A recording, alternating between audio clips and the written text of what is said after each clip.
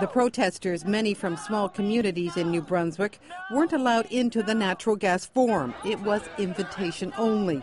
But that didn't stop some of them from trying. We are here for peace and we're here for, for to be represented. Be ashamed of yourself. No, we don't. We need to push a little bit, huh? because they're pushing us.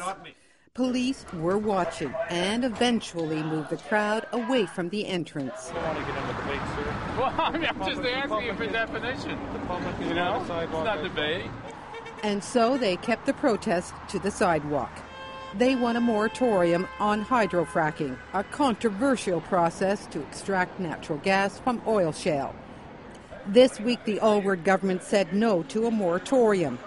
The government says there's no legal proof that hydrofracking causes water problems. So, when two cabinet ministers, the Minister of Environment and the Minister of Natural Resources, met with protesters, the anger spilled over. You've been saying about, oh, there'll be good regulations. We already have them. Are good regulations. There are not good regulations. My well has been destroyed by road construction. If road construction can destroy the wells in a community, why is fracking going to be safe? And I ask you to reconsider because we refuse to listen to such shameful statements. Thank you.